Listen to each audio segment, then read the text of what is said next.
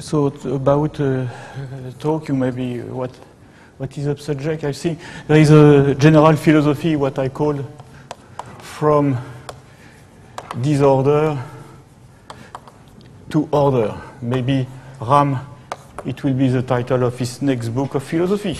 Okay? So what is the type of pro problem? When I write this, I am thinking of people like, uh, of course, Erdős, and I would like to write also what I write to write as a Hungarian school, like people like uh, Balog, uh, Sarkozy, Ruzsa, and you can add the, any, many, many names. So uh, you start from a sequence A included 1n, and another sequence B included in 1n, and I insist I shall ask no property, no property precise, but only a lower bound for cardinality of A and cardinality of B. So it's what I call disorder. Okay, so it maybe uh, contains no prime and something like that, a bad distribution in arithmetic progression. And now how to create order? There are several possibilities. First of all, you can consider A plus B. That means the set of A plus B. Or another way of, you can do also A minus B. And another way is to write AB plus 1, which is a set of AB plus 1, A. And what is the philosophy? That these two sets are certainly some order, some good behavior, so we, if you want. So, of course, I did not define what is a, what is a good behavior. Uh, so uh, I, I, shall work about this one, okay? And uh, there are two. You see, there is a difference between the two problems because the size of elements here will be around n squared, the size. And you will have something, I'd say nothing, cardinality of A, cardinality of B. And here the size will be something like n, and here the cardinality will be also. Okay, so the cardinality, be careful. I am. Uh, there is a problem of multiplicity, I forget it. So it's quite different. You see here the, the, the, uh, the number are rather small compared to that. In other words, here we hope the number of representation to be uh, bounded by one uh, on average. And this is, for the other case, is completely different. Here also we will have some property. So he, uh, this is convolution. Certainly we will use property of convolution. Okay. Here, certainly, people, when they attack that, they are playing a lot with uh, large sieve. So, I will, so, here is, so what is the order? So, I would like to write down a conjecture. So, due to uh, Sarkozy and uh, Stewart. So, let us write it and a in a Bourbaki style. So we would dream to ask that, to claim that in AB plus 1 there are prime, but it is silly. Suppose A and B are both odd, you are killed, there is no prime. So it tends to this property. So conjecture for all epsilon positive, there exists n epsilon n c epsilon strictly positive such that such that for all n greater than n power epsilon for all a and b included in 1n such that cardinality of A and cardinality of B are greater than epsilon n. So here's the property. You see you have the set 1n, 1n. You take a rather dense sequence, suppose 100 uh, of the elements, and you say nothing. And, uh, and now you, you make the product then, excuse me, then such that for all. Hmm, the set. A, B plus 1 contains an element, uh, I call it n, such that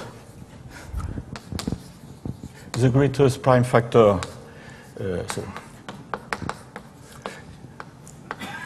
is greater than C epsilon uh, n square. And what is this? P plus, by definition, it is the greatest supremum of P such that P divides M. So this is the greatest prime factor of the integer M. so uh, people are not, uh, of course, it's, it's then completely uh, fool to say that uh, it contains prime. So we approach this conjecture saying that you have inside uh, an integer n of the form p multiplied by some n prime, and p huge. Okay?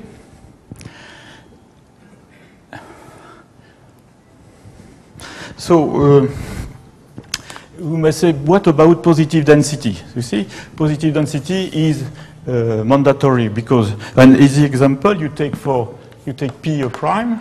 So I write positive density. I say obligatory. Because an easy example you take for a the set of a such that a congruent to one mod p. You take a prime p a less than capital N. You take B, the set of B, B congruent to minus 1 modulo P, B less than N. And you see that the AB plus 1, NA, is congruent to 0 mod P. Okay? Uh, that's, that's, that's, trivial. So that, that, that implies that the P plus of NA AB plus 1 is less than n squared divided by p. And you take for p, suppose uh, some function of n tending to infinity very slowly. And you, you have not the property required. So it's necessary. So what I, I shall first write what I, uh, what I proved, and to give you some uh,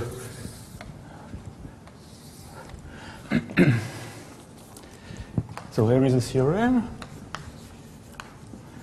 So there are, there are a lot of questions you can ask. The method change as soon as you, uh, uh, you about the density. So I write down a, a quite general theorem. So for all delta positive with 0 less than delta less than 1, there exists a function omega delta, which goes from n to r star, such that omega delta of n tends to 0 as n tends to infinity, such that for every n greater than 2, for all A and B included into one N with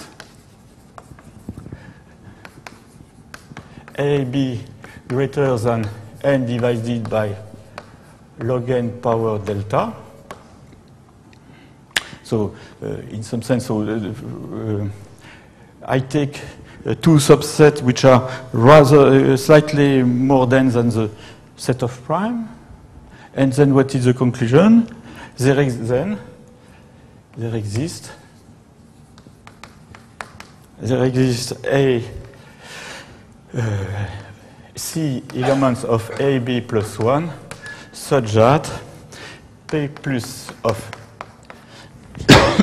C is greater than 1 to the power 1 plus cardinality of A divided by N 1 minus omega delta of N. So it is a So uh, I must explain uh, what is the meaning of that. So you have to take care of what is important is uh, the exponent. The exponent, so what do we say? It is very nice because when, so yes, when cardinality of A tends to n, the exponent tends to 2. Okay, it tends to 2. This is almost negligible. So that means the conjecture is proved for, almost proved for very thick um, a, B, a and B. Okay? And uh, so we, of course, for this exponent, you take the between A and B, you take the largest one. This, uh, it works also for Suppose you take B slightly larger than uh, the set of primes, then you have also the same type of exponent, almost equal to 2. So what was known before, so, uh, so the result of uh, uh, Sarkozy, Stewart, and after Matomaki. So the result is depends but what is the best they obtain is uh, something like. So you see, the, the best exponent you find in the, in the result is 4 thirds. So that means it's, it gave uh, some hope. I think it's uh, good improving. I would like also to for you to taste the difficulty of the question. Only to, to, to tell you a, a, problem I like, I did not work at it, but it's, uh, it may, you may think the difficulty of the problem. So when you were, when I was young, and maybe Ram also, what we call uh, in French table de multiplication, you write the number one, two, three, four, five, six. Here also. One, two, three, four, five, six. And here, inside, you write the product.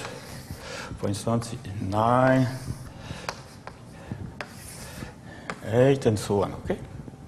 So, the, so I call LV of n. So if we go up to n, like Linnik Vinogradov,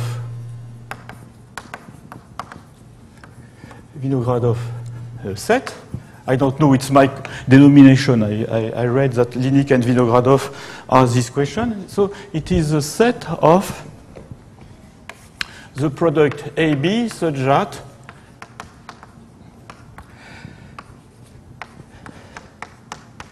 okay. So what is the asymptotic of this LV of n?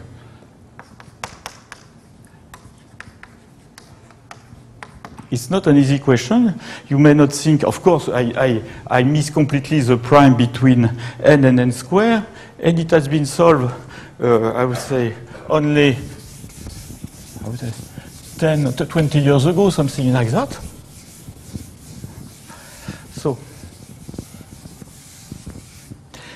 Uh, clever people like uh, Hall, Tenenbaum, and finally Ford prove something like it's very. I, I must confess that my intuition is completely lost how to guess the order of magnitude. So they found that the, the cardinality of LV of n is something like n squared. It is not a positive proportion by div divided by log n. So I write the exponent 0.086 here it's a logarithm divided by something, log log n. Okay. So you see, so uh, here is, and now uh, another question, Coucou Lopoulos, Lopoulos proves the following thing. Quite so has, they have not the asymptotics, they have the right order of magnitude, and if the asymptotic, the number of prime in the Linnik-Vinogradov set is asymptotic to n squared divided, what you can guess, in some, uh, oh, excuse me, plus 1, plus 1, plus 1. Okay, otherwise, uh, AB prime is not an interesting question. So it's something like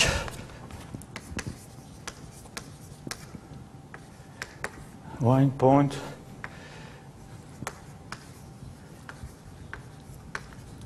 so I divide by okay and in some sense you see the thanks to Koukoulopoulos the question of the greatest prime factor of AB plus 1 is solved when A equals B equals 1n. Okay? But it says nothing when the density is 0.9. Uh, so how to attack this question? So some hints on the proof.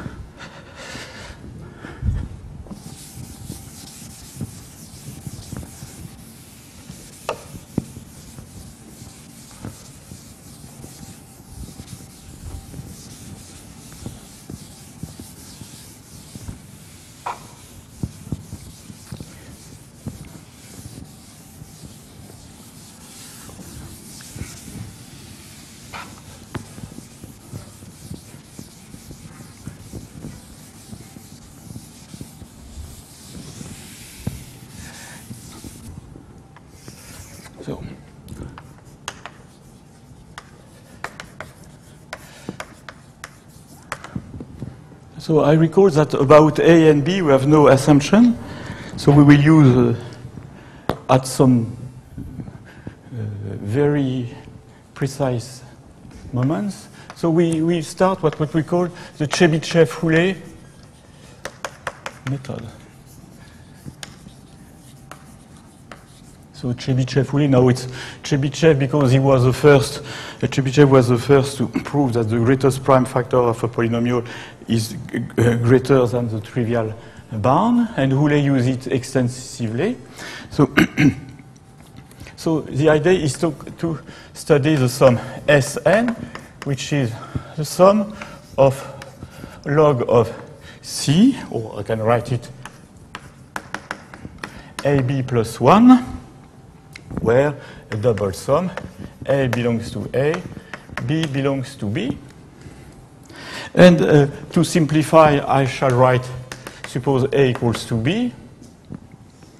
And it's not difficult to using, uh, I say that, uh, uh, uh, the, the, logarithm is going so slowly that you may suppose that all n and b are uh, around capital N, and it's not so difficult.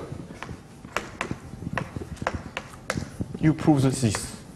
1 plus. So, easy.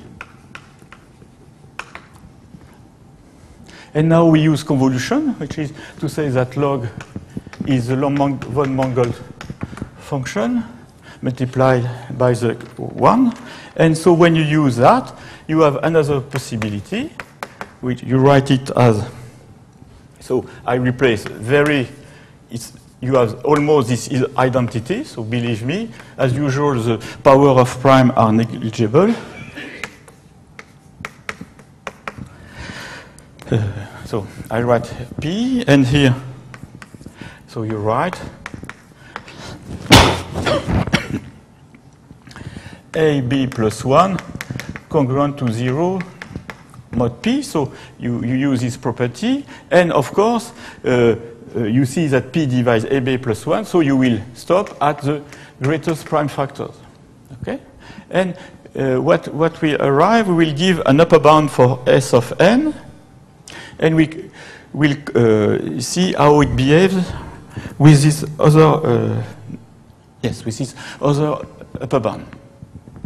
So there are always, when you use a Chebyshev-Hooley method, there are always uh, uh, two regions, small p, and in, the, in, this sum, you see, in this sum, we will have to insert what we know, the poor properties that we know about divisibility. As I said, since I wrote nothing on the blackboard as property, you are to find uh, ad hoc methods. So for small p and large p. Here, what is small p? Small p's correspond to p less than capital N. You see, N, and we, you see the P, P plus, you must have in mind that it will be uh, N1 plus uh, something. Okay? And here we use, uh, it's, it's, absolutely not difficult. It's a lemma due to Stewart. When I write it you may think it's something like large sieve. No, no, it's not large sieve. So log of p, so I sum p less than capital N, sum k less log n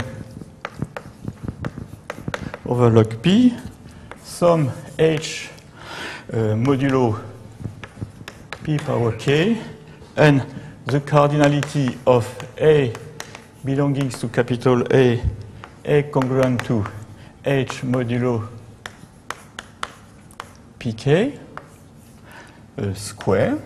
So uh, you take your set E, uh, yes, your set A, I recall it's included in one n. You square the number of A which belongs to an, uh, such an arithmetic progression. You sum over the module, um, the class. So forget this k, it's not, it's not important. And you sum over p, and you obtain this uh, bound,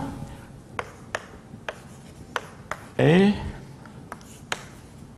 a minus 1, plus pi of n, as you know, it's the uh, cardinality of p less than n, the prime, multiplied by log n. So uh, what can I say is this, this upper bound which is easy, as only you develop and somewhere, and you, you take easy calculus, it's rather sharp. So you can test it if you take for a equals 1n. But you see, you, you, may, you may think, what was the origin of, uh, you remember, I suppose that A greater than n divided by log n power delta, and delta has been, it is the origin. That means if A is less than the number of prime, this term will uh, be most important, and the quality of this identity, of this inequality is completely uh, uh, empty. So this lemma of Stewart, okay? we use it to solve for small p. For large p,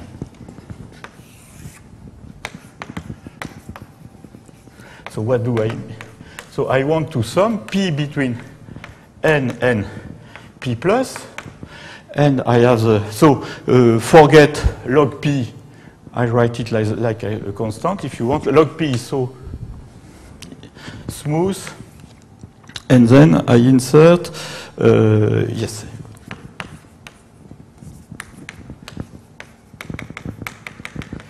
Modulo P.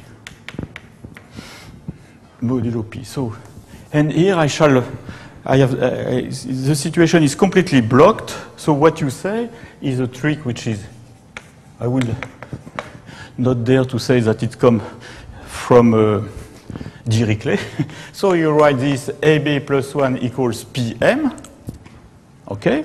And you write it like this implies, this quantity, that Pm uh, is congruent to 1 mod A. P1 is Pm is congruent to 1 mod A. So when I write this, I lose the property of B. I'm obliged to do that. I only use a property that it is included in 1n. Okay? And that's, uh, otherwise you can do nothing. And now we arrive at the following situation. Um, yes, so uh, you must be, so you have Pm plus 1 congruent to 0 mod A. So here what happened is that A, the size of A is uh, around n, say, the size. And here you have Pm, the product is around n squared. So you are, uh, in some sense, you, are, uh, you want some knowledge of the behavior of Pm plus 1 in arithmetic uh, congruent to 0 mod A. And what you have in mind, so here you are happy because P is a prime, M is a usual integer, A is, an, is in my crazy sequence, but the size does not fit. As soon you think, oh yes, there is convolution here, and you think about Bombieri-Vinogradov type theorem. But, but, but, what is very annoying, it is this situation that the A is n, and A is not, is not, suppose n, I would write n squared power 1r divided by log n power if we have this, this, situation, the story is finished. We will be exactly in Bombieri-Vinogradov theorem. So we are very on the edge of what to do. Uh, so here's really the difficult part of the, the proof is to produce some uh, Bombieri-Vinogradov, not Bombieri, uh, slightly greater than n divided by a power of logarithm. So here is the, the lemma, so, or a proposition.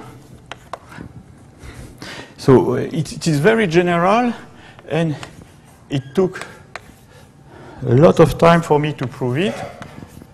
So you are summing, so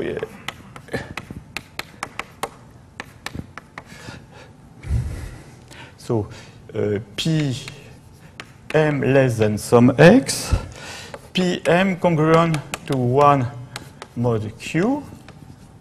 Okay? So you are counting pm less than x in some arithmetic progression, and you block the size of p, and you want to approximate it by 1 over phi of q, uh, the, the, what we call the expected main term,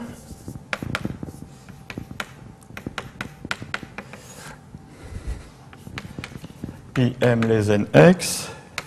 So what? So I write it like, if you want, expected main term. So at what, what you can prove, and you sum an average, and what we are able to prove, it is less than, uh, yes. So it's,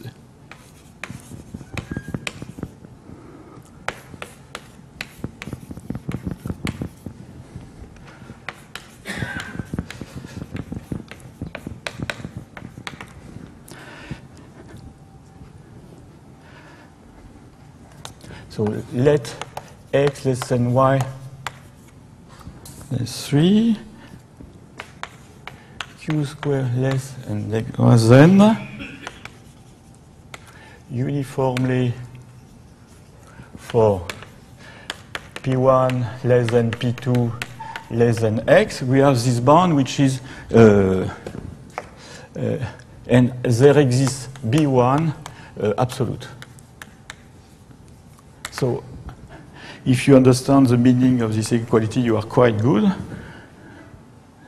So what I want to say is when it is uh, when it has a value, this bound, what is trivial is uh, this thing is trivial. This bound, you know that it's easy to see. It's x log x.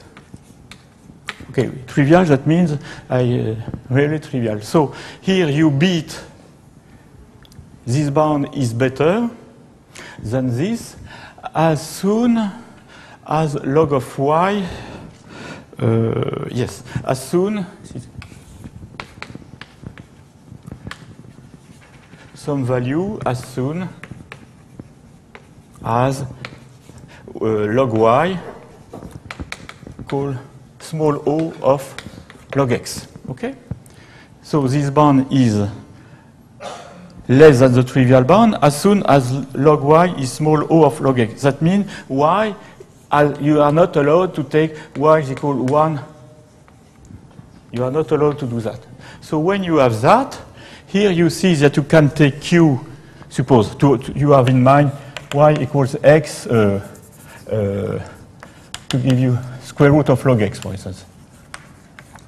This is a good choice. Here you can take this and you see that q can be slightly larger than the square root of x. So you insert this property and you, I would say you finish the computation and it's, uh, the proof is finished. So the, I would say some word about this.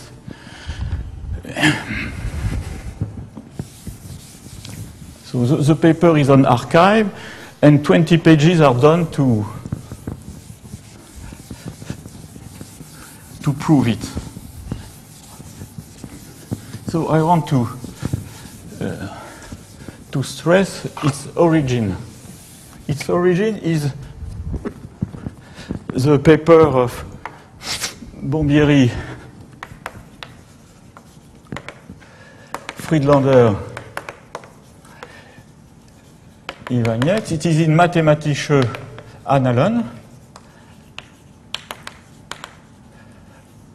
around uh, around this year. So they prove uh, the same, something really around, and here they put pi of x q1, suppose, so forth. This is the number of primes. this is the number of prime uh,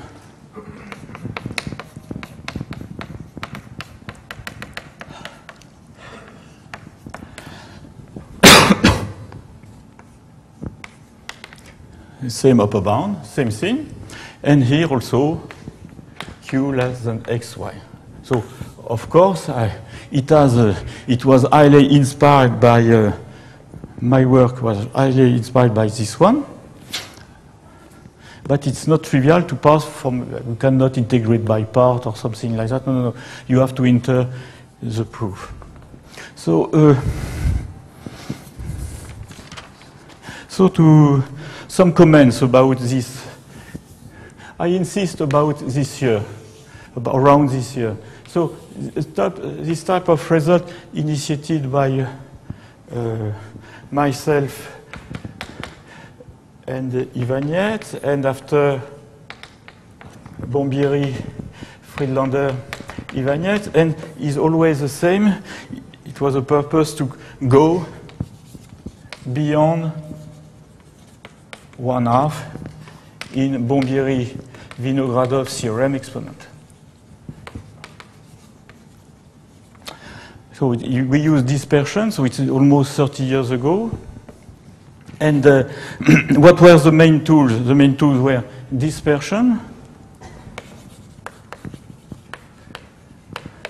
and use of a Kloosterman sum on average. That means some result of that type SMNC.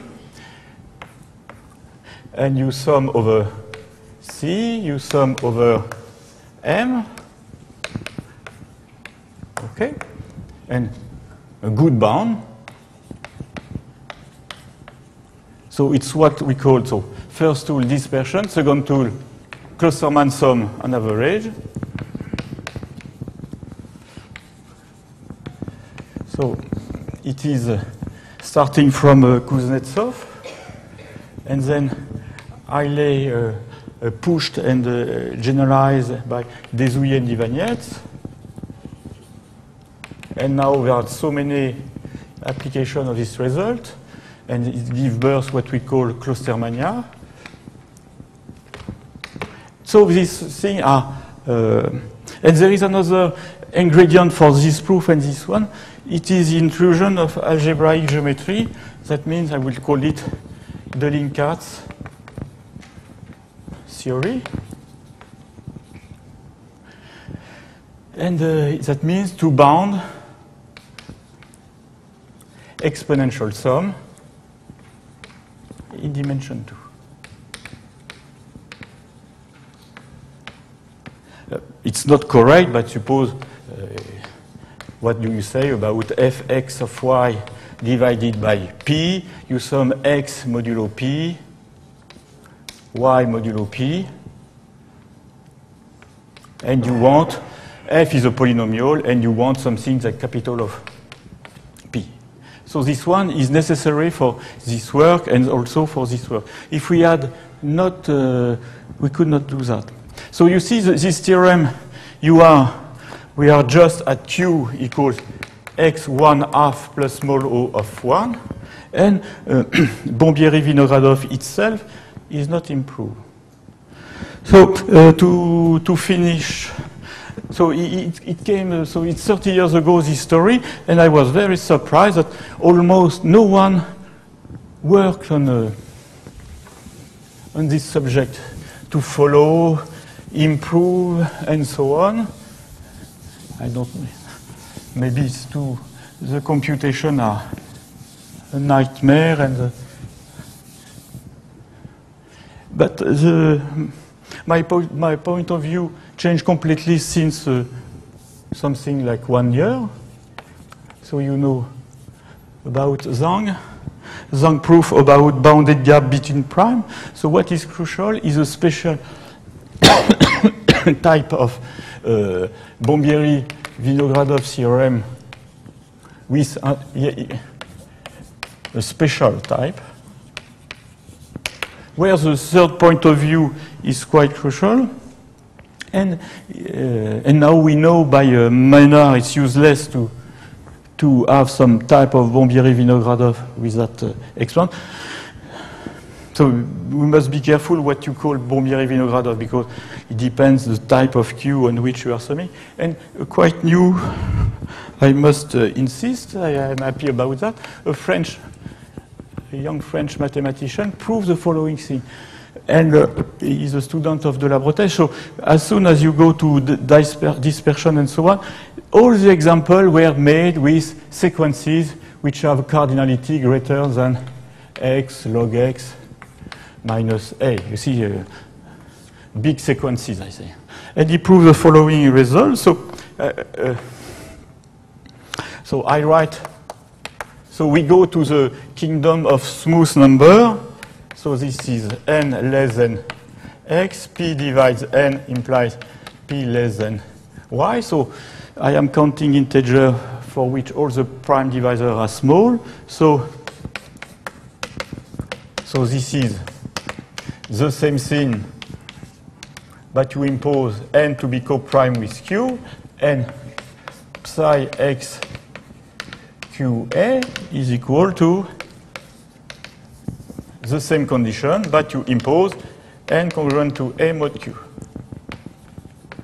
So uh, here is the result of Drapeau. So psi x y q1 minus psi x y q divided by phi of q. You see you are counting in arithmetic progression at what is the expected main term.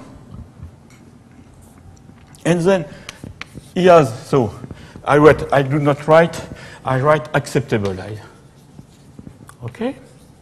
And uh, he's summing up to 3 fifths minus epsilon. So 3 fifths is much more than 1 half, but we are already such, such an example with an high exponent of distribution. And what is more important, because there is a second parameter which, which is y. And uh, when y is large, it's easy. And he proves that uniformly for uh, uniformly for y greater than log x to power some c, c absolute. So suppose you have, let us write 10 power 10, okay? Okay. But what is important is that psi x uh, log x power c its cardinality is about x1, 1 minus capital C plus capital O of 1. You see? So even if uh, C is very large, you have, he is proving some Bombieri-Vinogradov theorem for a sequence which is much thinner. You see, it's a huge gap when the cardinality is something like x 0.9999 and so, and so on. And uh, yeah, so it's these are good news for the theory. So I'm almost finished, and uh, two, two uh, questions is about, I had discussion with people here, what about smooth number in the set AB plus 1. And my, my, my uh, perception of the question is what concerns smooth number is much more delicate than what concerns prime. Thank you. Sorry.